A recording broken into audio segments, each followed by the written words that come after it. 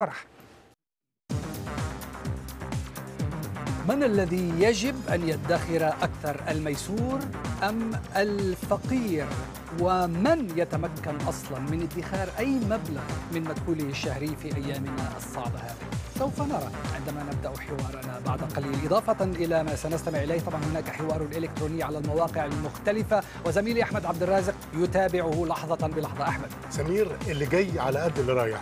مشاركة أرسلها مواطن مصري وهي تمثل اتجاها غالبا في حوارنا الإلكتروني اليوم. سنتعرف على كافة الاتجاهات خلال البرنامج كما نتعرف أيضا على نتيجة سؤالنا لليوم والذي يقول هل تدخر بأي صورة جزءا من دخلك؟ شاركونا. شكرا. لك أحمد. فلنستمع إلى تجاربكم الآن.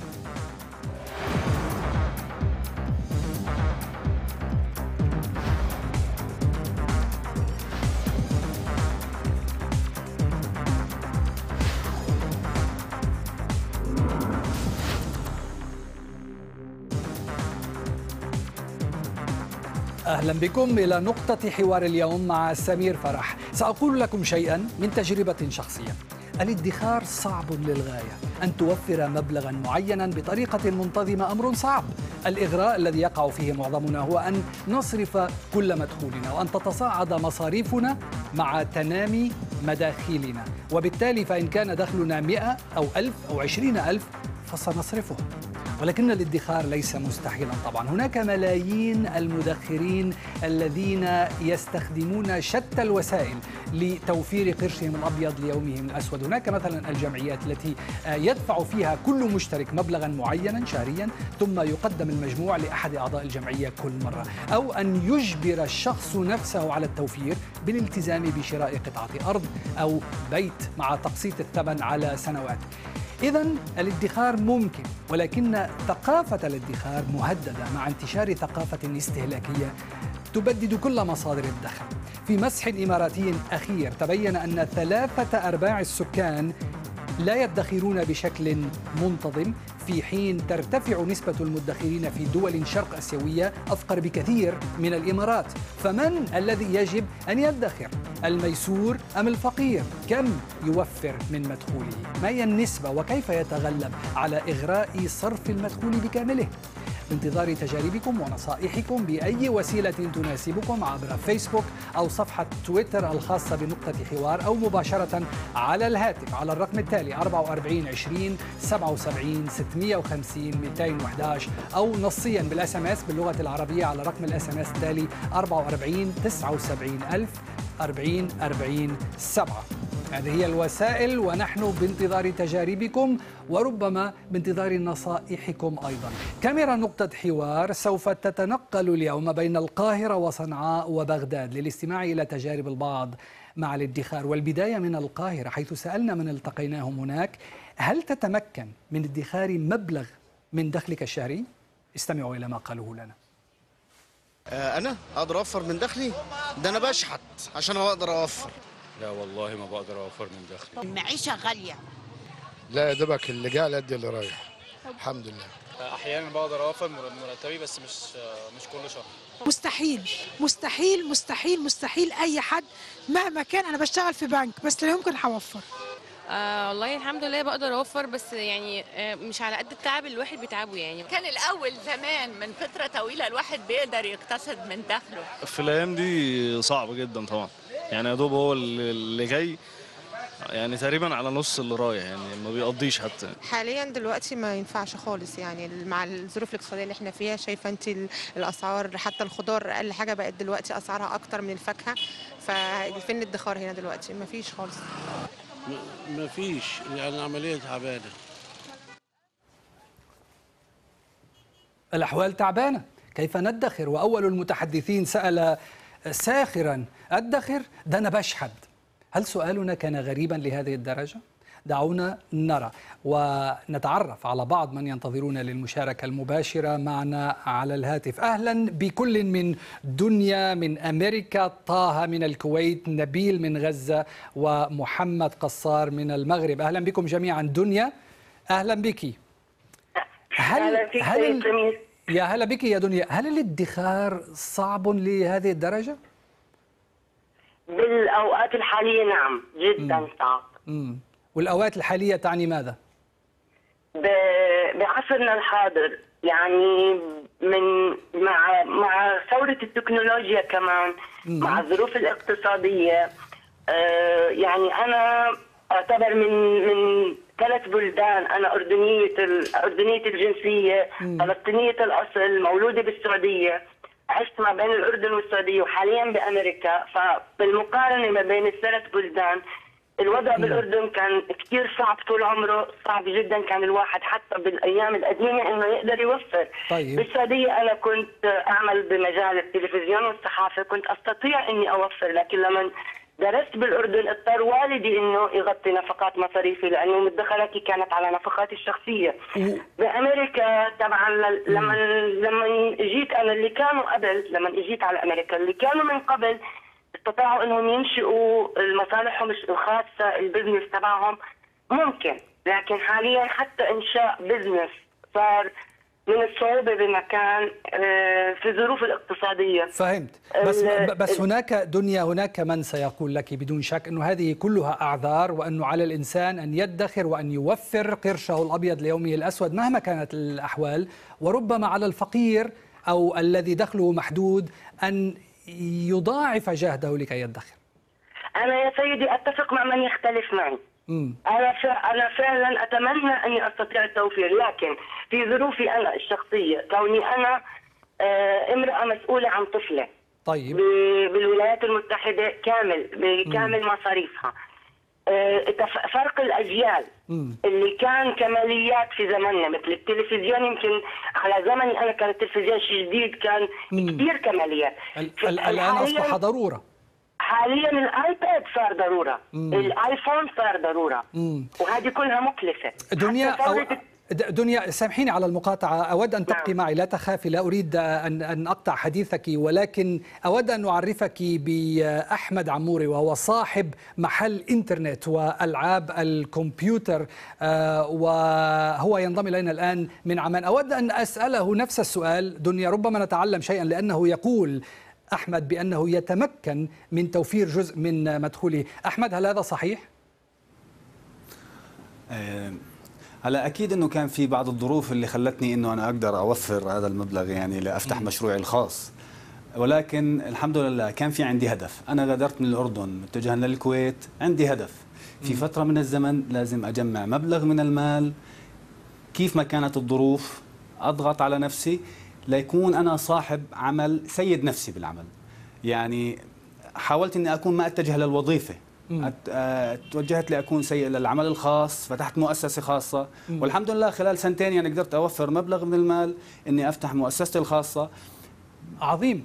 بلشت فيها صغيرة وبلشت أكبر فيها برضه يعني هذا- مع العمل المتواصل. هذا ممتاز يا أحمد ولكن هل كان هذا الدافع هذا الهدف هو سبب تمكنك من الادخار لولا هذا الهدف. يعني دنيا سمعت ما قالته دنيا تجد صعوبة كبيرة في الادخار. هل السبب هو عدم وجود هدف واضح ومحدد؟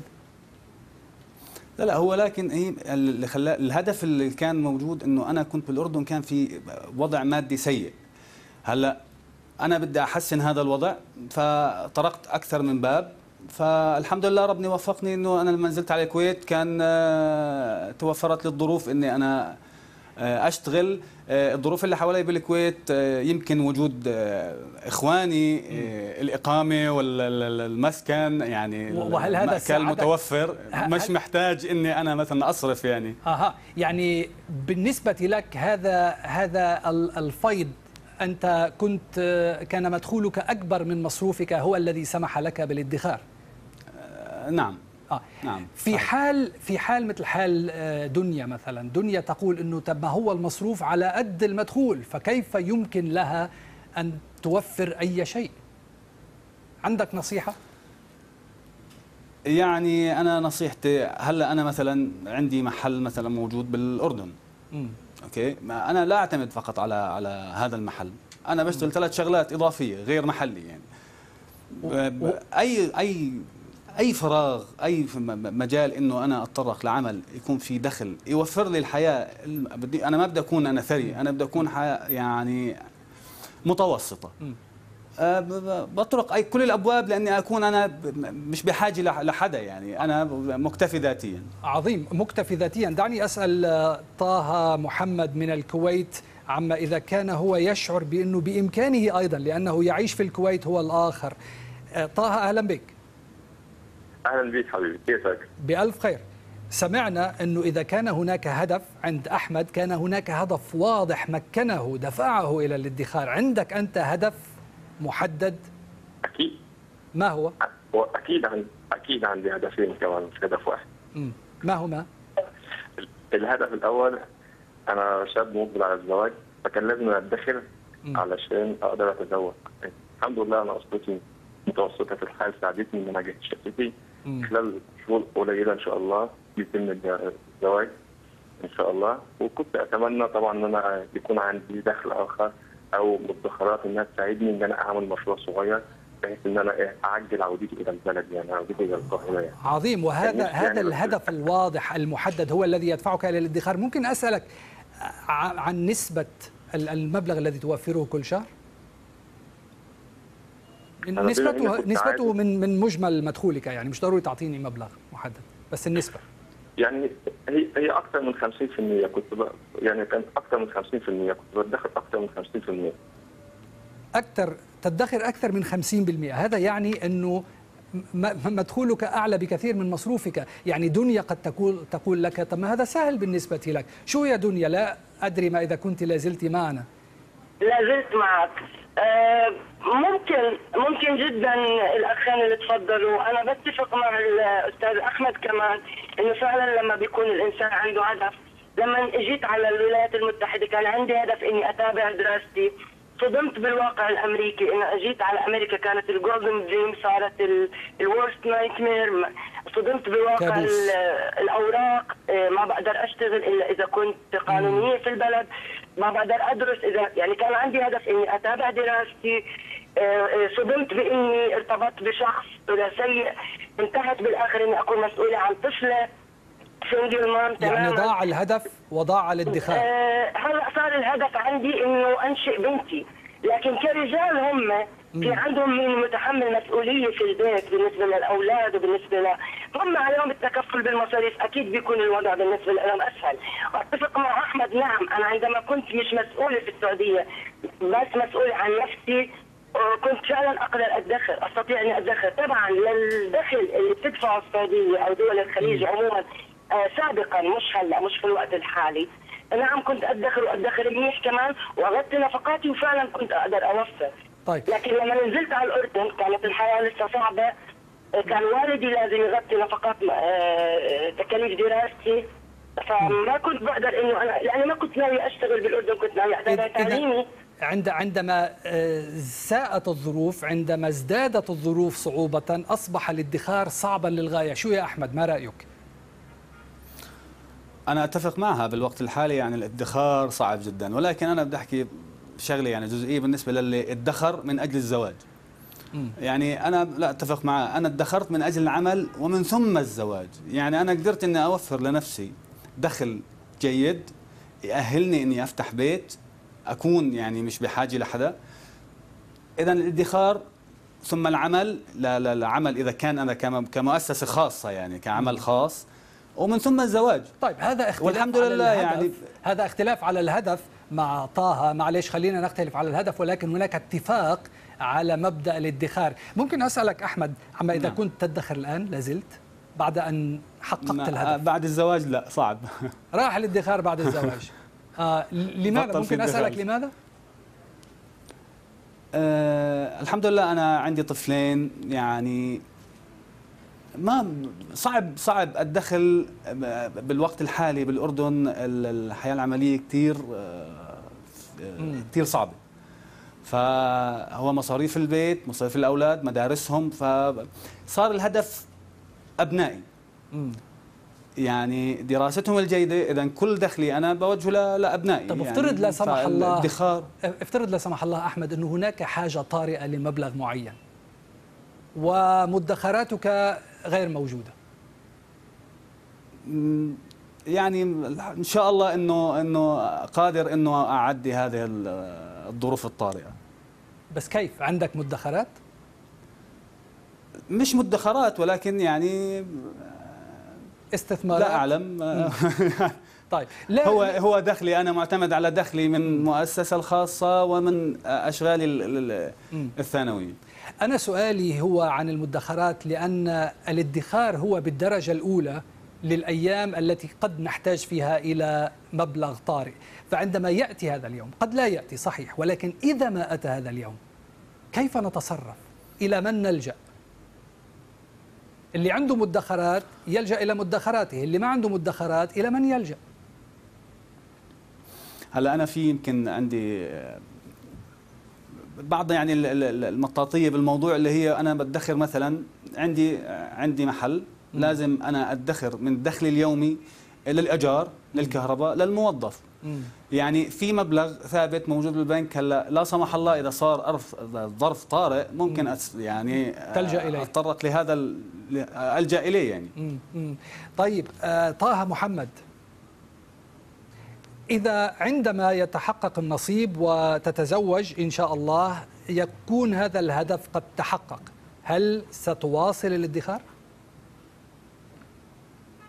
أنا هحاول هحاول. ما أقدرش ما أقدرش أقول لك إن أنا هتدخل أو لأ. أنا هحاول إن أنا أدخر علشان أحاول الهدف الثاني إن أنا أعمل مشروع واعجل عودتي القاهره وهحاول أكثر من الهدف الأولاني كمان. يعني أحاول أسعى بيه لأكثر من أكثر من من من, من الهدف الأولاني. لأن هو ده هو ده هو ده نقطة قوه بصراحة أنا عندي زمايلي وأخويا يعني عندي سلسلتين بجد جميله جميلة جميلة. يعني أخويا من مدخراته قدر يعمل مشروع يساعده على العيشة بجانب وظيفته. وعندي صديق نفس القصة عمل المدخرات وقدر يفتح مشروع منه قدر يتزوج وعنده المشروع بجانب وظيفته. صراحة الاثنين تجربتين يعني عندك النماذج النماذج موجودة التي يمكنك ان, أن تتبعها. مظبوط. طيب. مظبوط. بالنسبة بالنسبة للمشروعات لأن هي كثير مهمة كثير مهمة إن الواحد يعني في ضربات كتير بتحصل في الحياة ولازم الواحد يفضل معاه فلوس أو مدخرات بحيث إن هو يحتاجها. لا قدر الله لو ما فيش بقى مدخرات بتقدر يعني تطلب من زميلك من والدك من والدتك. المظلة الاجتماعية الأسرية التي تحمي الشخص. مظبوط. لأن أنت في فترة الادخار دي سواء سنة سواء اثنين سواء ثلاثة أكيد مليون في المية إن أنت ساعدت حد من مدخراتك أنت عندك جزء من المال ساعدت حد من مدخراتك فلما يجي انت تحتاج ان حد ان ان حد لما تيجي مساعد أكيد زمايلك برضه هيساعدوك. فهمت. طه شكرا جزيلا لك. أحمد عندي سؤال أخير لك. لماذا يجد الناس صعوبة في في تعويد أنفسهم على الادخار؟ كيف عودت أنت نفسك؟ الظروف اللي مريت فيها لما كنت بالأردن أه تشوف اللي حواليك يعني النجاح جميل. م. يعني بصير في عندك هدف أنت لازم تحقق لذاتك شيء أنت بتطمح له. م. هلأ أنا بحكي لك يمكن الظروف اللي كانت معي بالكويت خلتني إني أستطيع إني أوفر المبلغ الأفضل. م. لأنه كانت إقامتي عند إخواني مأكلي عند إخواني حتى مواصلاتي مع يعني عن طريق إخواني. الظروف هلأ هاي سمحت لي إني اضخ ساعدتني إني أنا أوفر مم. الشيء الأفضل من اللي كان موظف يعتمد بكل شيء على نفسه يعني مم. الإقامة لازم يستأجر بيت أو إنه لازم يوفر طعامه أو مواصلاته يعني الظروف سمحت لي ولكن أحيانا نعم أحيانا نعم. الظروف هي التي تساعد الشخص واحيانا يجب على الشخص أن يتغلب حتى على الظروف لكي يتمكن من الادخار صحيح. أحمد عموري شكرا جزيلا لك على مشاركتك معنا بهذه التجربة كاميرتنا وصلت إلى صنعاء حيث طرحنا السؤال نفسه هل بمقدورك ادخار جزء ولو يسير من دخلك الشهري؟ فلنستمع دخل الفرد مستوى أقل من دولارين فكيف يدخر الأموال؟ أو يبني على نتيجة صح؟ المبلغ المالي الذي يحصله الموظف في المجتمع اليمني سواء كان أصغر موظف أو الموظف المتوسط أو حتى أعلى موظف الذي هو يعتبر عضو هيئة تدريسية في جامعة صنعاء وغيرها من الجامعات لا يتعدى تقريبا 200 أو 220 ألف ريال.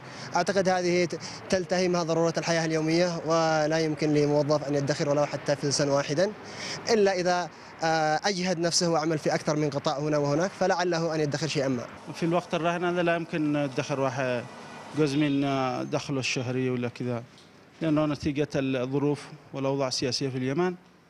قد كودا بالله أنه يغطي مصاريفه الشخصية. الإجابة الغالبة هي هي لا تتغير لا ادخار ولا مجال حتى للادخار. المشاركة التالية من الخرطوم من هناك ينضم إلينا عبد المطلب محمد سليمان وهو مدرس مادة التاريخ وصاحب متجر ومدخر مواظب. أرحب بك عبد المطلب. أهلا بك. تسمعني؟ عليكم السلام ورحمة الله تعالى وبركاته. وعليكم السلام. نورنا انصحنا كيف تمكنت من الادخار؟ كيف عودت نفسك على هذه العادة التي يريد كثيرون أن يصلوا إليها ومش قادرين؟ بسم الله الرحمن الرحيم والسلام على أشرف المرسلين سيدنا محمد وعلى آله وصحبه وسلم تسليما كثيرا. حقيقة الادخار بدأت منذ أن كنت طالب. آه وأنا طالب في المرحلة الثانوية. أذكر كنت أدخر من المصاريف التي يمنحها الوالد. ثم تطور معي هذه تطورت معي هذه الطريقة في المرحلة الثانوية. أما في المرحلة الجامعية فكانت بصورة ممنهجة. أي أني كنت أدخر جزء من المصروفات اليومية. فأجعل قدر محدد منها خلال الأسبوع وخلال الشهر إلى أن صارت مبلغ محدد وصرت يعني أحقق بها الاحتياجات الأساسية. يعني تعودت من من البداية تعودت منذ الصغر على هذه العادة ولو لم تتعود عليها منذ الصغر لكنت الحمد وجدت لله صعوبة؟ نعم نعم مم. مم. لا وكنت وجدت صعوبة أكبر لو لم تتعود عليها من الصغر والله لا أسمع بكل وضوح ولكن على ما أعتقد أن هذه العادة يعني تطورت منذ الصغر ثم صارت بصورة ممنهجة بعد أن وصلت المرحلة الجامعية. حتى أنني استفدت من خلال العمل الذي كنت أؤديه بعد التحاقي بالعمل في وزارة التربية. آه، منذ اليوم الأول كانت لي خطة محددة. وهي أن أقتطع جزء ولو اليسير من آه، آه، من من, المصروف الشهري منذ اليوم الأول يا عبد وبفضل ذلك بعد جهد الله سبحانه بعد توفيق الله سبحانه وتعالى استطعت أن أحضر دراسات فوق الجامعية وناقشت حتى الماجستير والحمد لله. طيب آه، مثير جدا الاهتمام يا عبد المطلب ما قلته إنه منذ اليوم الأول والخطة ببالك أنك تريد أن تبدأ بالادخار و ولكن هناك قاسم مشترك وأود أن أطرحه قبل أن أتحدث إلى محمد قصار من المغرب لأنه هو أيضا موظف ولا يقول لا يستطيع أن يوفر أي شيء. السؤال هو هل من يتمكن من الادخار نعم. هو فقط الذي مدخوله أكبر من مصروفه يعني بمعنى إذا كان واحد مدخوله يوازي مصروفه تماما هل يقوم بجهد مضاعف لكي يدخر؟ أم أنه يستسلم للأمر الواقع ويقول والله هو أنت اشتغلت ومدخولك أكبر من مصروفك وهذا هو سبب تمكنك من الادخار. مش عارف خلينا نطرح هذه النقطة. ولكن محمد قصار موظف لا يوفر أي شيء. محمد أهلا بك. أهلا وسهلا. يا هلا بك أنت تعرف تماما أن الادخار على البرنامج أنا الذي أشكرك على الانضمام إلينا أنت تعرف جيدا يا محمد أن الادخار أمر جيد صح؟ نعم صح صح وتعرف أن لأن- الادخار قد. الادخار كلمة قديمة آه و- والتوفير التوفير قد ينقذك من مشكلة كبيرة في المستقبل صح؟ نعم. آه، دعني يا أخي يا سيدي المحترم. مم. آه، بأن الادخار كلمة قديمة قدم إدراك الإنسان وهي تعني الاحتفاظ بالشيء في وقت الرخاء لوقت الشدة. حلو. وهو احتياط نقدي لمواجهة الطوارئ والأزمات المالية. مم. طيب. لكن لكن في الوسط الذي أعيش فيه هنا في المغرب أتسمعني يا سيدي؟ أسمعك جيدا بوضوح. نعم. المنطقة التي أسكن فيها النسبة قليلة آه، حول الادخار. أي نسبة آه، هناك آه، المندوبية السامية للتخطيط أجرت إحصاء ل 80 أسرة 80 أسرة وجدت بأن النسبة الكبيرة تعيش مع راتبها كما هو أي مع الراتب الذي تحصل عليه. سواء كان مرتفعا أو قليلا. وتصرفه ونسبة كله تلتجئ إلى الاقتراض. وهذا ما أريد أن أوضحه لأن هذا هذه الوسيلة ال- ال- الوحيدة والفريدة يمكن الإنسان هنا في البلد الذي أعيش فيه وفي المنطقة التي أعيش فيها التوجه إلى الاقتراض من الابناك وبالنسبة للنسبه الأخرى فإنها ونسبة قليلة تمثل فقط من هذه الثمانين اسره 5.5 وهذه هذه الإحصائيات لا ليست يعني اتخذها رسميا وإنما قرأتها ماشي. ماشي. وتقول أنا بس 5.5 خليني تدخر. خليني يا محمد أستفهم هذه النقطة. هناك نسبة قليلة جدا من الناس الذين يدخرون. نعم. طيب. وعندما عندما يواجهون مشكلة مالية وعندما يحتاجون إلى مبلغ طارئ ب- ب- ب- بسرعة إلى من يلجؤون أنت إلى من تلجأ؟ نعم. نعم أنا أنا أتكلم عن نفسي. اتجه لاني مررت بمراحل أخرى التي ربما أنتم على علم بها. وهي مثلا إلى الأصدقاء يعني أن بواسطة يعني أصدقاء في المهنة يجمعون مثلا رصيد شهري ومثلا عشرة أفراد كل واحد مرة. ولكن هذه المرحلة مررت بها فإنها غير غير مفيدة ولا تغني شيء. آه، يعني ورغم ذلك أشير إليك إني آه، جربت كذلك نوعا من الاستثمار منذ أن كنت آه، غير متزوج والآن عندي خمسة أولاد. مررت بنوع من الاستثمار لكن ال- الذي أقول لك الكلمة اللي أقولها للجميع بانه مهما كانت الأسعار مرتفعة فإن الادخار يكون قليلا والعكس صحيح. معي في هذه الفكرة أخي يا سيدي العزيز. طيب ومررت كذلك عندما يعني شعرت بضائقة مالية توجهت إلى الاقتراض من الابناك وهذه هذه هذه الاقتراضات بس هذه هذه مشكلة يا محمد. هذه مشكلة لأنه ال- الاقتراض يجب أن تسدد هذا الدين في وقت ما فبالتالي يجب عليك أن تقتطع من مدخولك جزءا لكي تسدد هذا الدين. آه، ما- عبد المطلب يبدو لي أن يعني ال- الذي يتمكن من الادخار يجد سهولة فيه أم أنه يبقى صعبا كما هو صعب عند محمد قصار؟ نعم. آه يجب أن أشير إلى نقطة محددة. أنه التربية لها أثر كبير في ذلك. وأنا تربيت مع جدتي وأخذت منها الكثير. ولدينا هنا مثل في السودان يقول لا أذكر ترجمته حرفية ولكن يقول القرش الأبيض ينفع لليوم الأسود. طبعا طبعا كل الناس عرفته. آه، مثل فمن شعبي بس. خلال هذه ال- الأحاجي ومن خلال المقولات التي سمعتها من البيئة من حولي كنت أحاول كنت أحاول أن أطبق ذلك. آه، فالحمد لله والمنة له استطعت أن أجني ثمار ذلك والله في حياتي.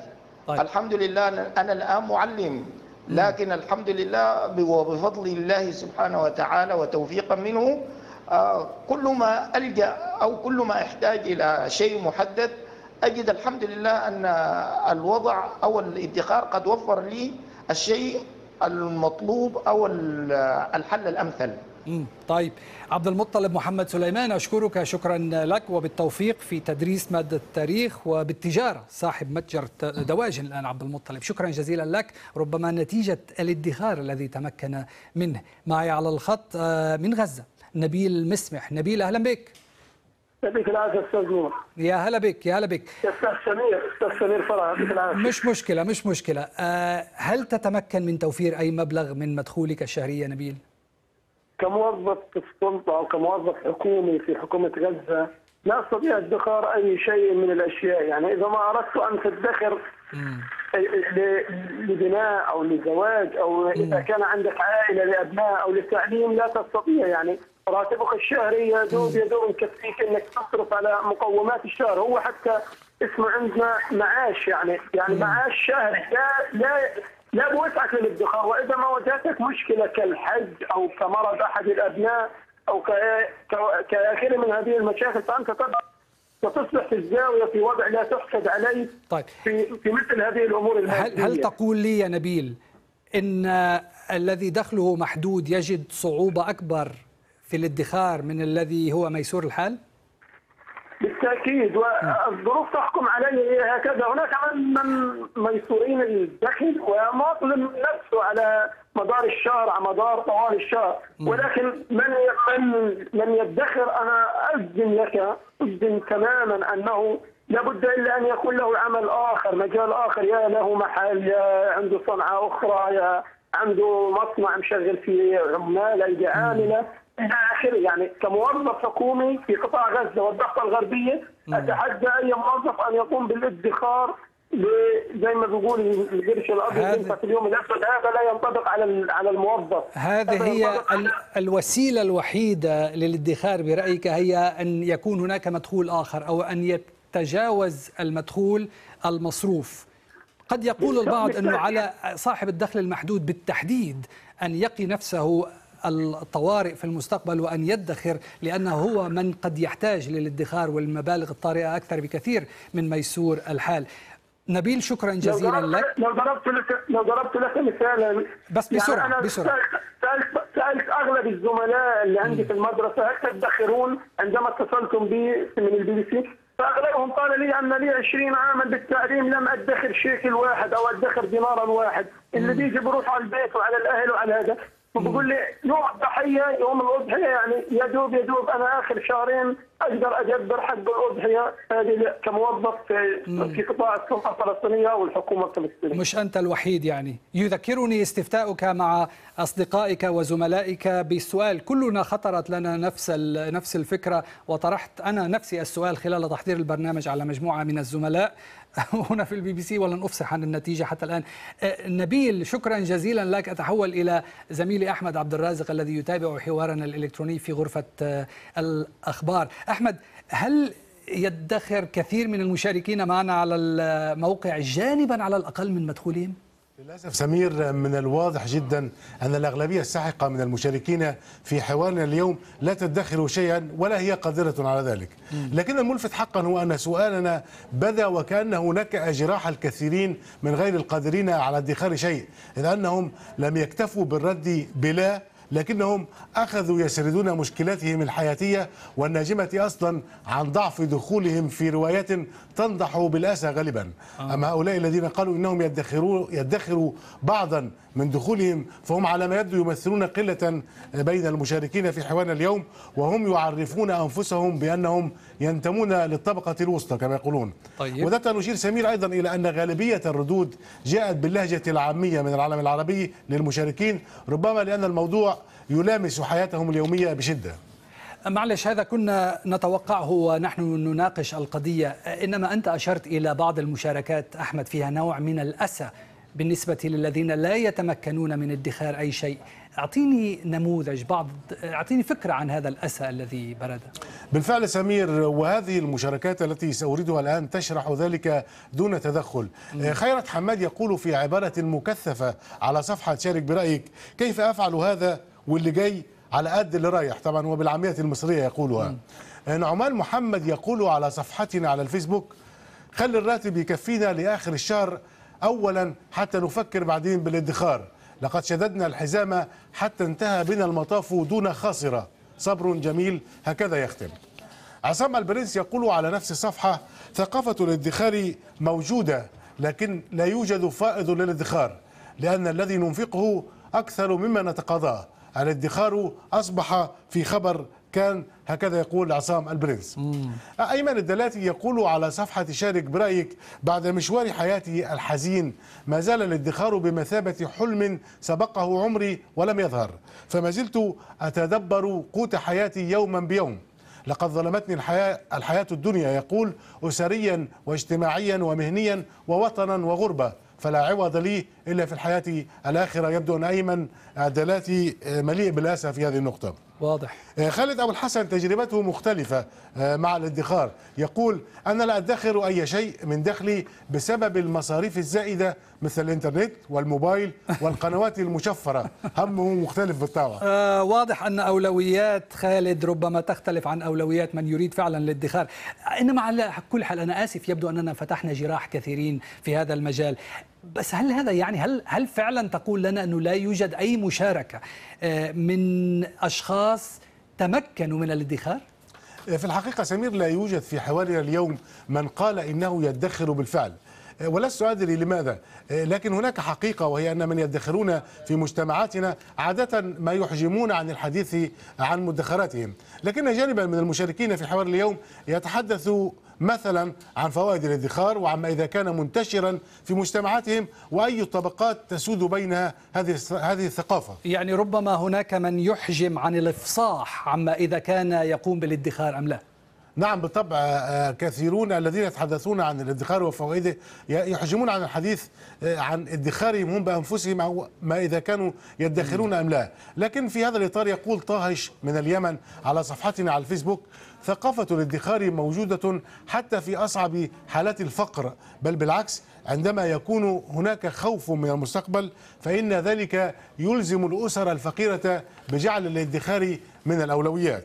أحمد المواشي من العراق يقول على صفحة شارك برأيك المجتمع العراقي معروف تاريخيا بأنه يمتلك ثقافة الادخار لكن هذه الثقافة بدأت تتلاشى أمام إغراءات الشراء بالتقسيط التي تقوم بها الشركات الكبرى. محمد عزب يقول من صور الادخار شراء قطعة أرض صغيرة مع الاحتفاظ بها من خمس إلى عشر سنوات ثم بيعها عند الضرورة.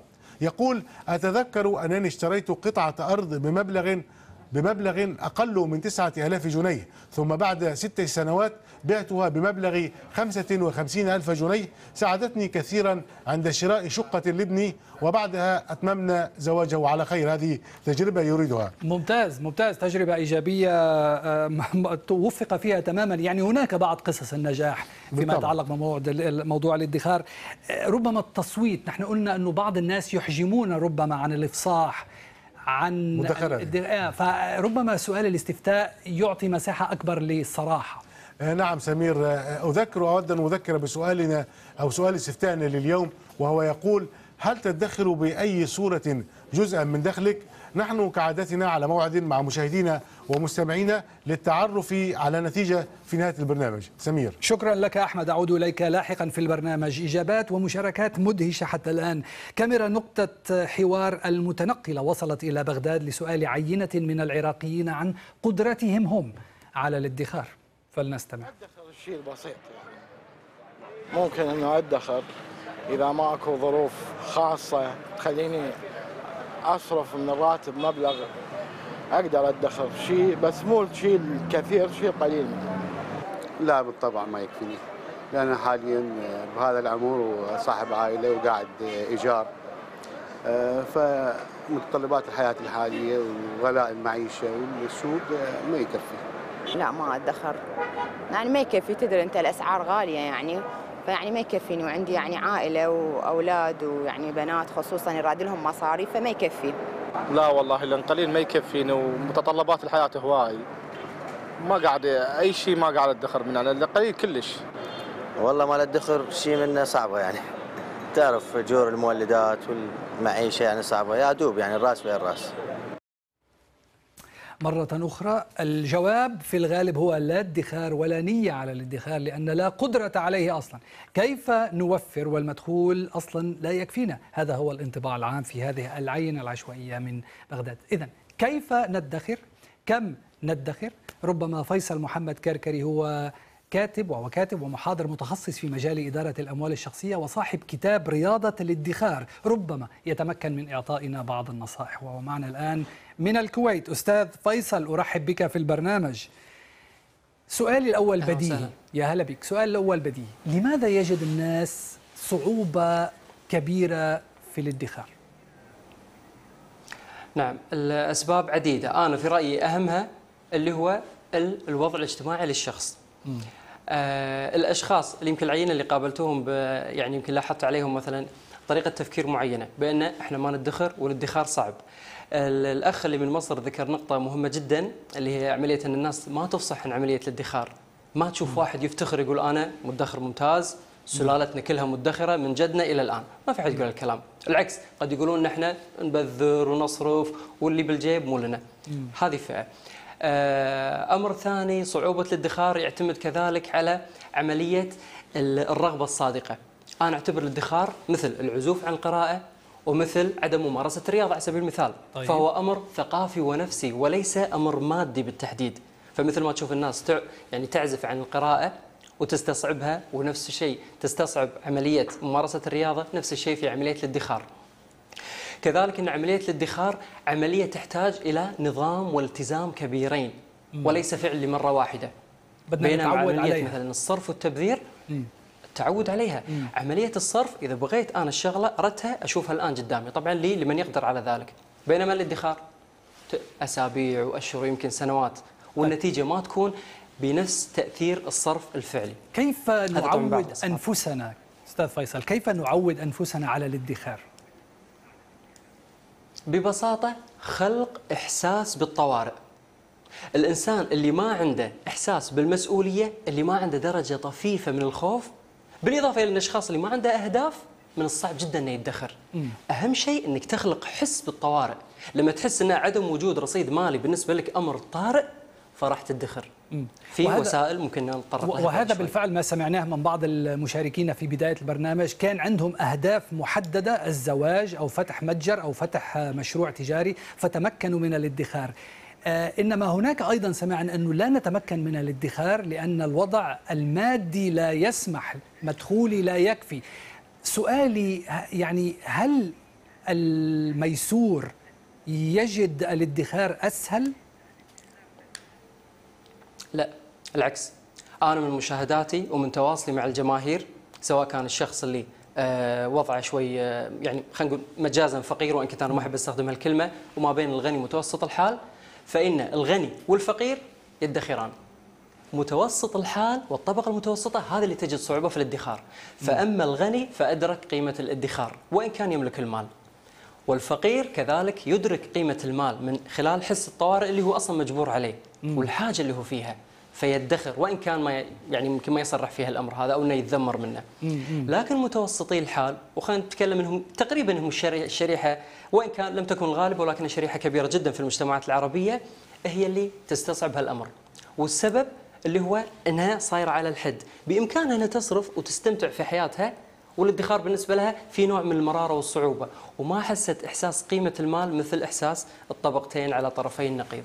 مدهش. أمر آه، مثير للاهتمام. اسمح لي هنا أن أستقبل بعض المشاركات الهاتفية لكي نرى ما إذا كانت هناك أسئلة لم تطرح حتى الآن. سناء العدناني معنا على الخط من ليبيا وتدرس الاقتصاد. سناء أهلا بك.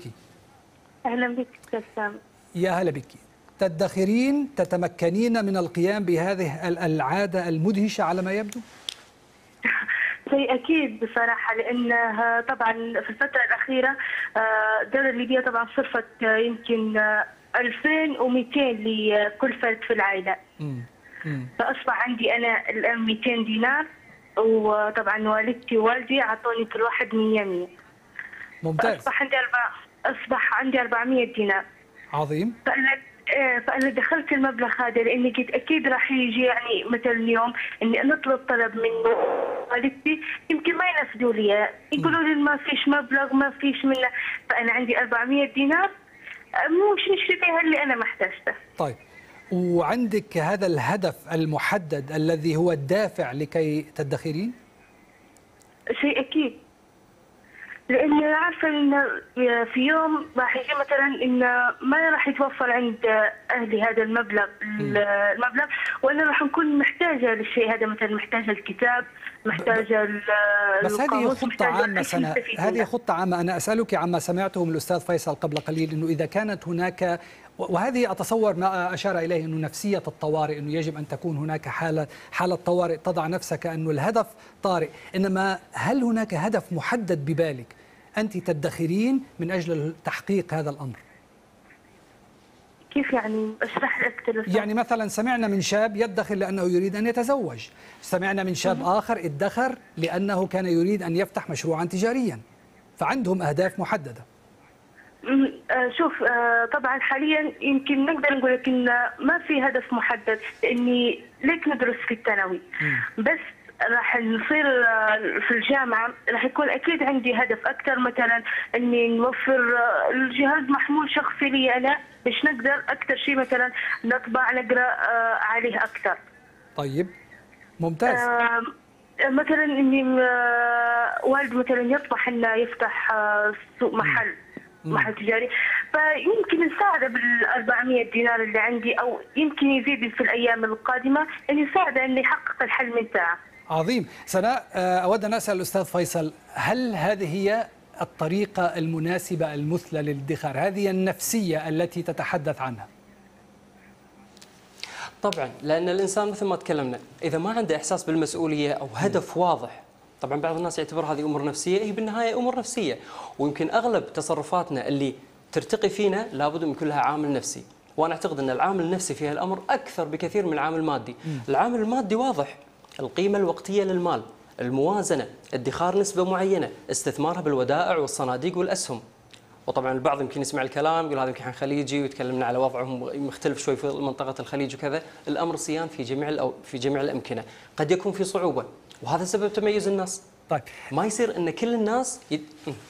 لا لا واضح آه، إنما في بعض المجتمعات في حديثك عن بعض المجتمعات هناك بعض المجتمعات حتى بالعالم العربي التي فيها ثقافة الاستهلاك والكريدت كارد والبطاقات الائتمان ويقول الشخص إنه طيب لماذا أنا أعذب نفسي وأدخر؟ لماذا؟ ما أنا إذا احتجت أمر كل ما علي أن أسحب بطاقة الائتمان والكريدت كارد من محفظتي وأن أتصرف مش ضروري الادخار طبعا. آه، بطاقات الائتمان أنا بالنسبة لي أعتبرها ليست سوى قروض. مبطنة ومزينة في صورة بطاقات جميلة وبألوان آه، جذابة. هي قرض بالنهاية. واسأل كل شخص عنده بطاقة ائتمان من أي نوع فيقول لك إن أنا خلاص دام أني ملتزم بسداد مبلغ معين شهري فأنا مقيد في بطاقة الائتمان. طيب هالمبلغ الشهري اللي أنت أصلا قاعد تدفعه حق هالبطاقة هذه وحق البنك وبفوائد ليش ما تخليه حقك أنت؟ تدخره. فلذلك إن في علماء النفس يسمون شيء يسمونه ال delayed gratification أي تأجيل المتعه الإنسان اللي يقدر يتمكن من خلق الثروة لابد أن يتمتع بهالميزة هذه أو الملكة اللي هو القدرة على تأجيل المتعة. أوفر ومن ثم أصرف وليس العكس. طيب ما هو السؤال الأول الذي يطرحه الناس عليك عندما يعرفون أنك خبير في هذه القضايا؟ كيف أدخر؟ طيب هذا وكيف السؤال كيف ندخر؟ المثالي. طبعا آه، ما راح أقول إن كل شخص يختلف وكل وضع يختلف كذا لكن باختصار إذا إذا تحب أنا ممكن أذكر لك يعني بعض طرق ال- الادخار اللي أنا دائما يعني ادوش فيها الناس سواء في محاضراتي أو في مقالاتي أو في حتى في تويتر. آه، أهم هالوسائل طبعا ادخار نسبة 10% النسبة السحرية هاي اللي كل من يسألني شو معنى 10% وأنا نفسي ما أجد إجابة صراحة عليها. لكن آه، طبعا هالنسبة هذه يعني ممتازة. على الأقل خلينا نقول كتارجت بالنسبة لك كهدف. هدف. 5% 7% 12% تبقى أنت في إطار السيف ساد مثل ما يقولون. آه، طريقة ثانية كذلك دائما أنصح فيها الناس اللي هي طريقة العشرة 20 70 واللي ذكرها أحد الكتاب في كتاب الأشهر اللي هو أغنى رجل في بابل. وذلك عن طريق أنك تدخر 10% من راتبك وتدخر 20% لسداد ديونك بمختلف أشكالها. وتصرف 70% من راتبك على حياتك اليومية. أستاذ فيصل أنا عندي آه، آه طبعاً، آه، عندي آه الكثير من الأسئلة خاصة حول هذه الوسيلة لأنه أتصور أن هناك عدد كبير من المشاركين يريدون أن يعرفوا المزيد عن هذه الأساليب هل تمانع في أن تبقى معنا في الجزء التالي من نقطة حوار بعد نشرة الأخبار لكي نستمع إلى المزيد من وسائل أفضل وسائل الادخار ممكن؟ مو مشكلة. ممتاز شكرا حاضرين طبعاً. جزيلا لك أستاذ فيصل محمد كركري الكاتب والمحاضر المتخصص في مجال إدارة الأموال وصاحب كتاب رياضة الادخار يعود إلينا بعد النشرة ولكن الآن العينة نفسها من ال- الذين استطلعنا آراؤهم من المدن الثلاث المختلفة والذين استمعنا إليهم اليوم بغداد القاهرة وصنعاء واجهناهم بسؤال آخر كان في حال حلت بك ضائقة مالية فإلى من تلجأ لمساعدتك استمعوا إلى ما قالوه لنا لا قدر الله. لا لا لا لا. ممكن الجا لإخواتي لأهلي إنما غير كده ما ينفعش. أعمل إيه؟ العمل عمل ربنا. أو إحنا بنقدر نعمل حاجة ولا ربنا هو اللي بيحل؟ هو بنستلف من من ولاد الحلال. يسويك الله. ونعم بالله. بس يعني حل عملي يعني. حال عملي الاقتصاد بالبيت. نعم. أقتصد. سيا أو المنزلية فإننا نلقى إلى الأصدقاء. وبعض الزملاء حتى تنقضي هذه المدة. إحنا أصحاب هنا بنلم من بعضينا بنساعد بعض. بستلف من أي حد وبعد كده برد الفلوس تاني. والله يا ربنا بقى بيفرجها من عنده هقول إيه؟ أستلف من صاحب محل. آه.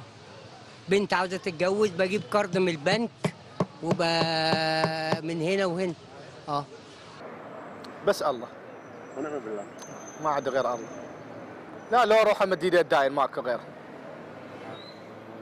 أنا مواطن مصري بحس إن أنا بحفر في الصخرة من أجل لقمة العيش.